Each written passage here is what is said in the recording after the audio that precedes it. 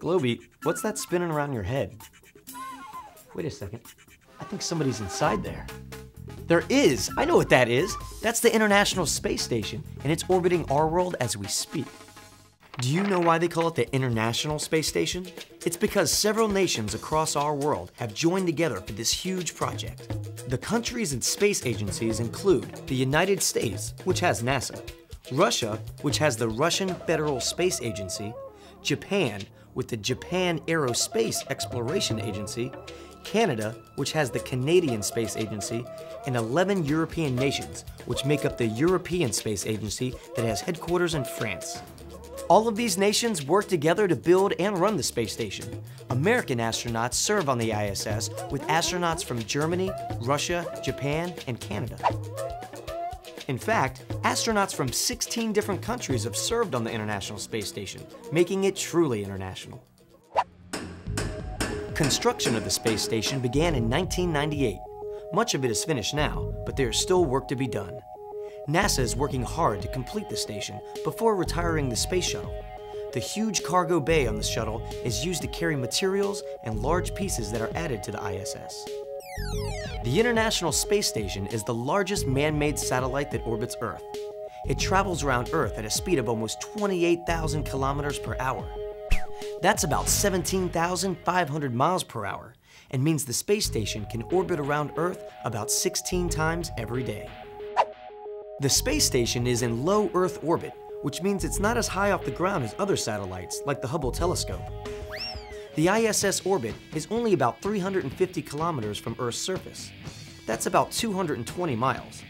That seems like a very long way off, but we can make a quick model to show you just how close low Earth orbit really is. Let's use this basketball for Earth in our model, and this softball for the moon. Since the moon is about one-fourth the size of Earth, these two spheres are close to the right scale. Using that scale, how far away do you think the moon should be from Earth? This far? Maybe this far. Well, it just happens that the moon and our Earth have another unique relationship. The distance between the two is 10 times the circumference of Earth. Earth's circumference is the distance around Earth at the equator. We know Earth has a circumference of about 40,000 kilometers. The distance to the moon is 10 times that, or about 400,000 kilometers. We can use a string to place the moon in our model. If we wrap the string around the basketball 10 times and stretch it out, we can see how far away the moon should be. Now where on this string do you think we would find the International Space Station? Halfway? A fourth of the way? Actually, it's much closer. Using this scale, the ISS would be less than one centimeter from the surface of Earth, or just about here. Because the space station reflects the sun's light, and because it's in a low orbit, it shines in the sky. In fact, if you're in the right place at the right time, you can see the space station without having to use a telescope.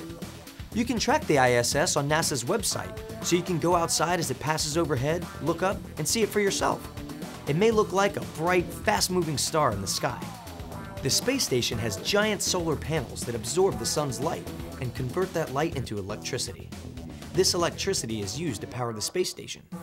And because the space station's position to the sun is constantly changing as it orbits Earth, its panels are able to rotate and adjust to make sure that they are always capturing the sun's light. Astronauts aboard the ISS use the solar power to make the electricity needed for living and working in orbit. Scientists from all over the world can use the space station to conduct long-term experiments. The US part of the space station has been classified as a national laboratory, which will help scientists learn new things in science, technology, engineering, and mathematics.